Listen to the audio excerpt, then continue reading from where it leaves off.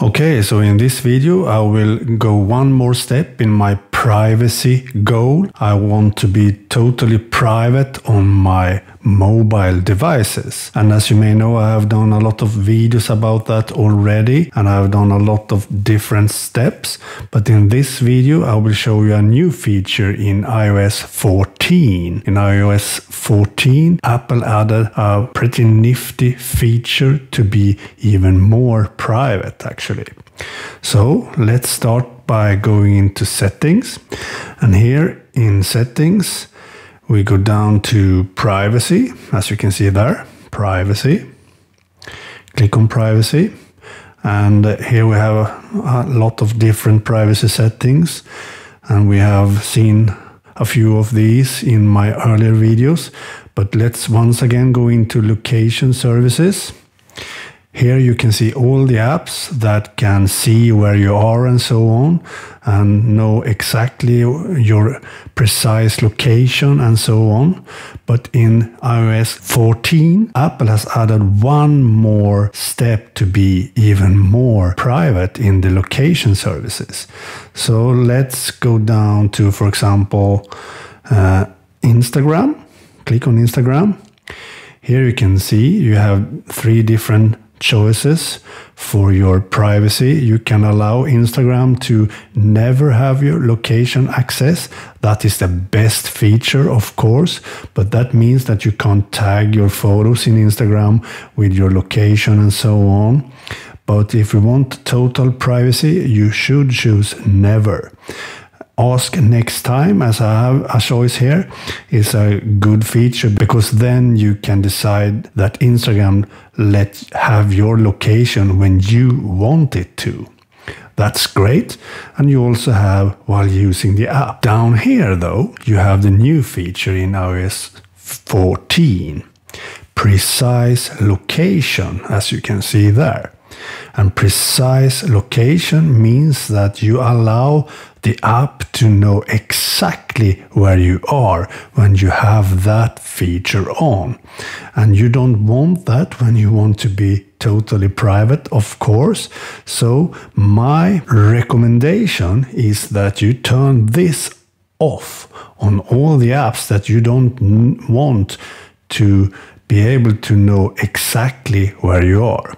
Because if you turn this off, you can only see an approximate location. So, for example, you, when you're in a town, you can basically let Instagram in this example know that you're in that town, but you can't, Instagram can't know exactly where you are in that town. That is what this toggle means. If you turn that off, Instagram in this case can't see exactly where you are. But unfortunately, Apple has decided to have precise location on by default for all your apps. So you need to go into location services, as you can see here. You go into privacy and location services and go through all the apps that have your location and turn that feature off. Let's see Shazam, for example. We choose Shazam. As you can see, precise location is on by default, but you can, of course, turn that off so you don't have the exact precise location unveiled for Shazam. So that is a pretty nifty feature and very useful when you want to be private. So once again, let's go from the beginning, from your home page, go to your settings app, go into settings, go into privacy, go into location services, and choose the app that you don't want to have your exact location, your precise location, the precise location. For example, calendar app, for example, you can choose that and then you can turn that off for that app. So go through your list with all the apps and turn off that is my recommendation to have even more privacy on your phone.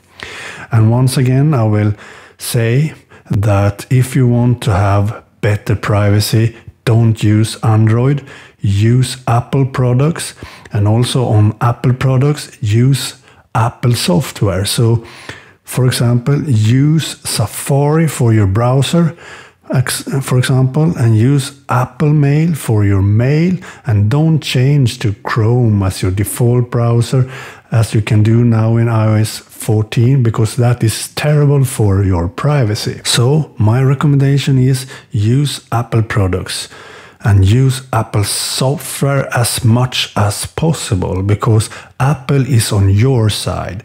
They don't want anyone else to have data about you and sell your data to any other third party eh, company. So Apple is on your side. So use Apple products. Everything stays on your phone with Apple products because they have a neural engine and that neural engine works with your data on your phone, on your device itself, and not send it to a third party company or whatever. So, that is also one of the most important recommendation. Use Apple products and Apple software as much as possible. Don't use Android or Windows. Okay, bye.